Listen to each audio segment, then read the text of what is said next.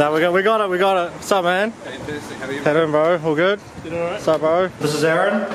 Say hi. Hey, how are you? What's up? Say Hello.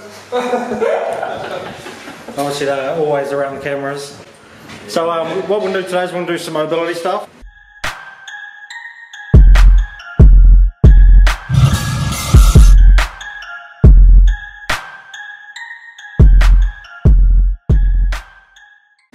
Get some, uh, real keen to get some new techniques, uh, some stuff to do after my training. Obviously, you know, I got, I've been pretty beat up uh, the last couple of months, probably, really. Um, that's why I went back to heels when I was squatting. That was feeling a bit better. But the goal is to get back into flats and just get that mobility better in general.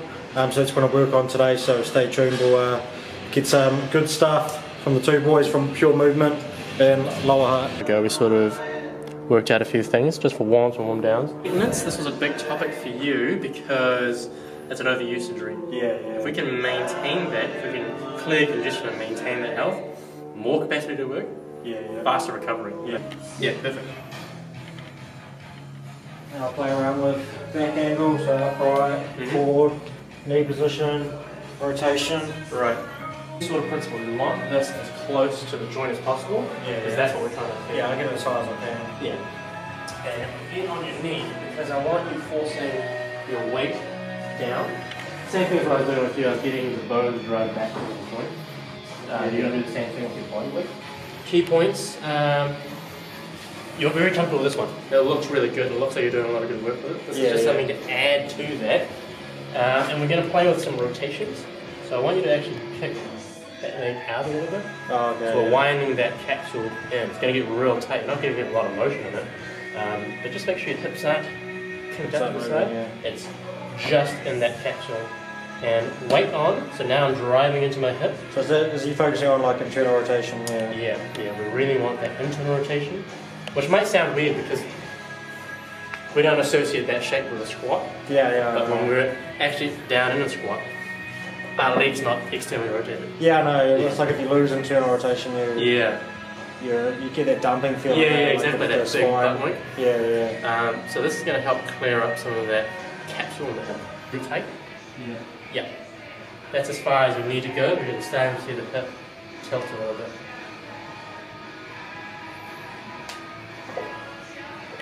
We're talking about maximizing hip flexion, which is what we need for our squat. Yeah. Um, we're using the band because we can help create space. Um, so I'll show you what I mean. So we've got quite a quite a heavy band here, Mm. and with this change for females, males, stronger athletes, weaker athletes. Yeah, yeah. So I'm quite a small athlete. Yeah. I still use a thicker band because I'm used to being thrown around a little bit, but Yeah. smaller band if that's more comfortable. But anyway, Cool. key point is that joints don't just rotate around a single axis, they actually glide quite a bit. In the joint here, my bone actually needs to clear up space and drive to the rear. So I'm going to recreate what needs to happen with the aid of the band. And I want weight going down onto my knee because that's going to drive my leg back. It gets a little bit complicated, but that's all we need to know. Yeah. Driving my body weight on the knee is going to drive this bone backwards. So a lot, a lot of tension onto the knee, through the ground. And what this band is doing is actually pulling laterally to give me even more room. Pulling it, I'm not dislocating myself, but Yeah. it's giving me a little bit more space. Uh, and this is a really common one that we see. It's a pigeon one that everyone knows. Here's a new one though. Wind that knee, uh, sorry, wind that leg into internal rotation. Yeah. Sounds a bit funny, but I'll explain in a second. Uh, key points making sure that the hip isn't rotated out as well, and our spine needs to look really neutral. So really neutral, so straight up and down through the back. Down, my hips aren't Yep. tilted, Band's pulling, I've got weight on, and I'm just going to work into that capsule. It's not going to be a lot of room. It's literally just this much motion, and that's fine. Same thing, weight's on. Cool. Okay, let's go to the opposite side. So keeping this leg down, we're raising this one now.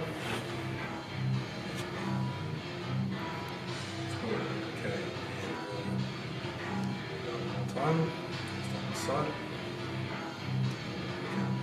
Awesome. Right. So let's let that off. Let's stand up. So what we have is an asymmetry, which means one of your legs is operating slightly different than the other. Yeah. Why, we don't know just yet, we just know that it is. So if we were to actually score this, your right leg raise would be a 1, which you can't do it, and your left leg is a, a pass or an acceptable.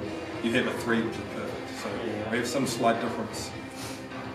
To see if that is coming from your legs or not, we'll find that out in a little bit. Now place your, are you right-handed? Left-handed? Right hand. Place your hand up like so. Yep, right hand behind. Cool, so to get a perfect, that should be within my hand span. And so if I'm looking at that, one and a half, uh, try again, so arms out again, I'll go left hand up again.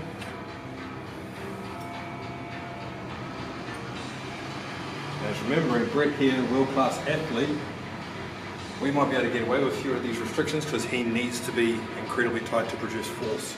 We might be able to make it better. Come back up. One more time. Cool.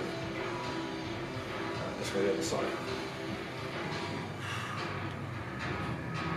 Get that off. So what we have is a distinct left-right difference for both your lower and upper quadrant mobility.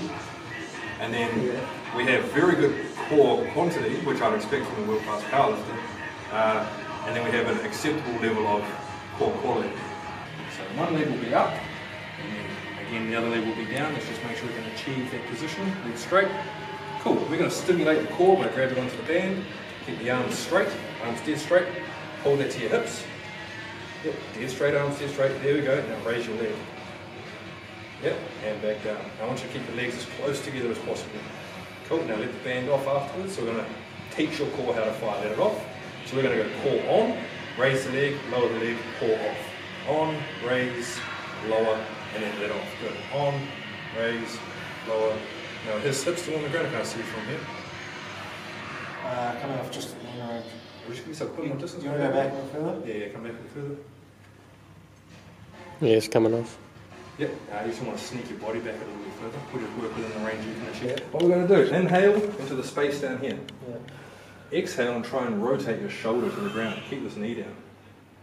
So again, because this leg is up and over the hip, you are not rotating through your lower back. You're rotating pretty much mid-back upwards. Cool. That's fine, girl. Can you take full breaths?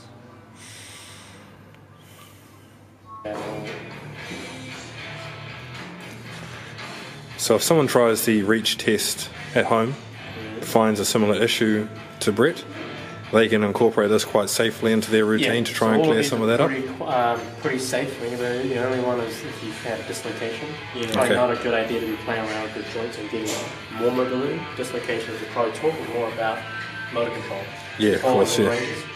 Too much pressure. Okay.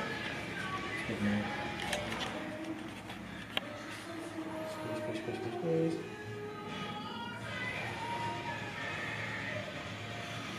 Yeah, yeah. So constant pressure,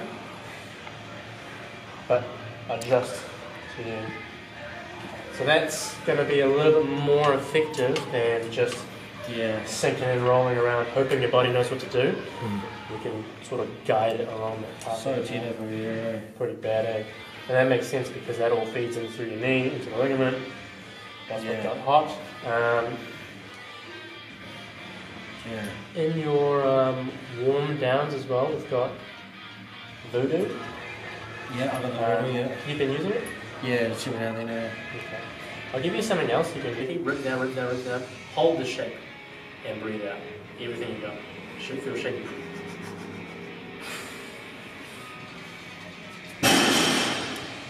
When you're there, I should feel this get super hard.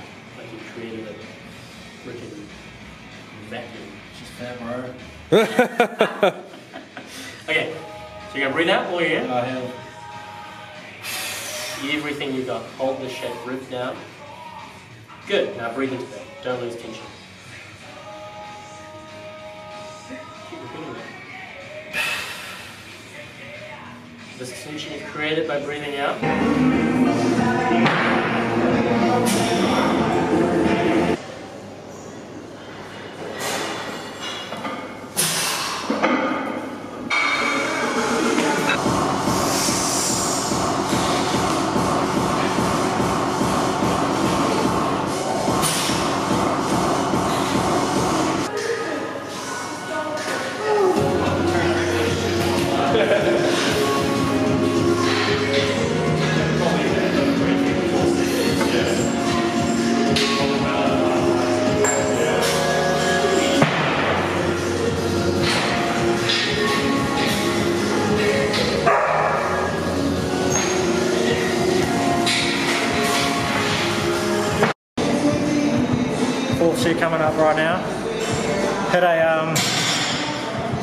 Tonight for a single, which was real, real good for me anyway at the moment. It was around 8 RPE, like pretty, it was pretty quick. I jumped straight from 260, which moved the fastest it's moved in like oh, months. I don't know how, like, you saw that ASAM was pretty quick. And um, yeah, so went, so I left it that. I don't want to push any further, like, a, like an 8.5 or whatnot, this is the last week of this uh, development cycle, so there's no point. Um, so I can just start at a higher base, hopefully the week after. So we're using a four week block again. Uh, third week, at the start of the third week, will be the same sport session as this, and then the end of the third week is actually the, the meet week itself, which ties in um, with, the, with the way that I so basically I'm running I run four week blocks based on that's how long it takes me to peak. Um, so you can always notice in my fourth week of these RPE style sessions, by the fourth week it's when I'm sort of pushing the parameters of the RPE, so staying within that like 0.5 each side of them. So the goal is to line that up for when I'm actually lifting. So that's why we're targeting it for the end of the third, beginning of the fourth week. Um, and hence that's why we're doing a uh, pivot week next week and then start that block again so I peak the comp. Um, anyway, really happy with 280 tonight. Uh, volume tonight was the heaviest it's been is about 232.5 for two sets, doing 230 for two sets. Then I'll drop right back to 220, which is about 75% um, for another two sets of five, so that's six by five. Um, so it's always a pretty tough workout, regardless what it is. Um, what else did I want to say? I wanted to say something else. Anyway, let's just do this here.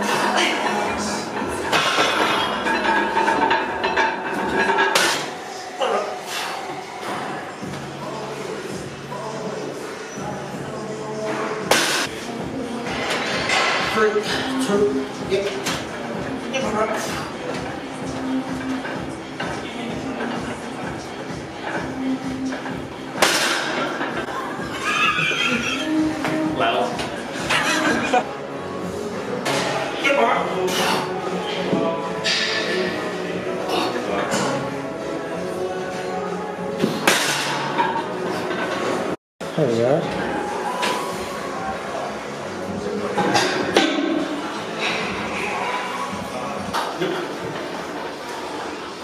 Drive it good. Come on! Yes!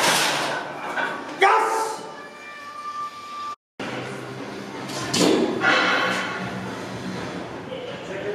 So I'm hitting my last drop set tonight, 200 kilo, just for a two by two. Uh, this is the second set right now. So good. Three, two,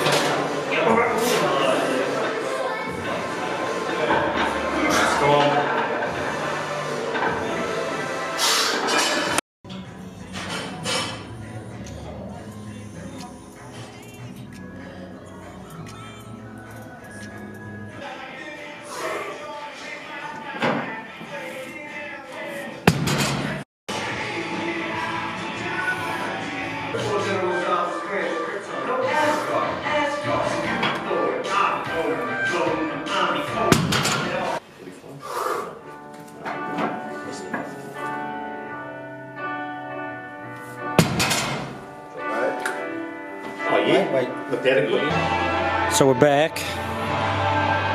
We're back to uh, singles on the deadlift today. I basically was doing doubles over the last few weeks, as you guys may have seen, and they were just so bad. Like I just could not progress in them at all.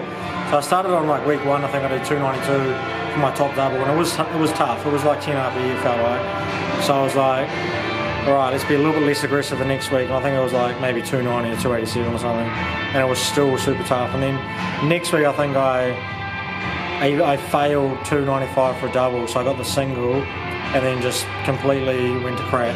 So um, emailed Mike, or sent Mike a message, and I said, look, let's get rid of this. Um, cannot deal with the doubles anymore. Um, and all it was was, um, you know, essentially building up to that top double around 9 RPE and then a couple of low drops. So it was, it was overall, it was about 10 working reps for, for the session or so. And um, yeah, just couldn't build any momentum on that. Um, and the accessory deadlift day, I think, was it was like a pause deadlift or something like that anyway. But um, this is the first week back on uh, single and volume as well, so this is going to be uh, should be shouldn't be too bad. It's six sets of five today, um, which is the exact same as what I did for yesterday for squats. So I've got 240 on the bar after a 290 and a 295 single, um, which both moved really, really well. Um, I don't really know what's changed so much with um, just uh, my positioning this week. It's just been so much better than the last three weeks. Um, I didn't get any of that, like just you know breaking off the floor. My uh, uh, lower back wasn't just rounding straight away like it has been, um, which has been a big part of the problem. Um, I am feeling a lot more mobile, so obviously that's uh, coming into play this week. Um, I felt pretty much pain free on the squats yesterday, so confidence was way up. Felt good on the bench, and again feeling uh, like I'm getting to good positions today, which I think has been the key difference. So anyway, we're going to get stuck into this uh, first set of five.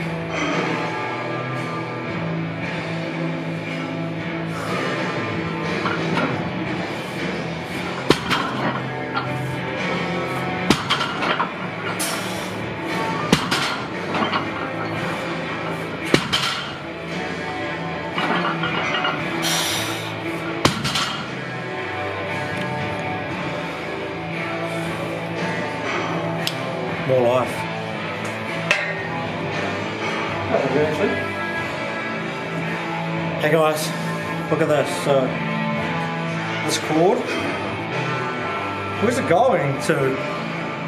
Can you look at this? Look at that. Now, you can slide your iPhone in there. Perfect, man. You can run in the dark with them. Reflective A7 logo. Mismatched socks. OVO slash Jordan release shoes for deadlifting. Limited edition. Not available for sale anywhere. However, I do have five pairs, I think. I bought five pairs when they came out. Just future proofing future proofing my future of deadlifts. And um, you guys still listening to me. You haven't turned this video off yet.